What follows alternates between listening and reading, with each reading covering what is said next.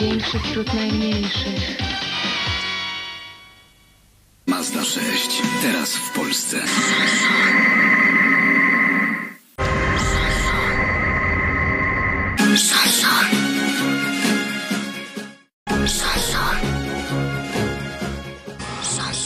Mazda 6. Kombi numer 1 według tygodnika Motor. Zapraszamy na jazdę testową.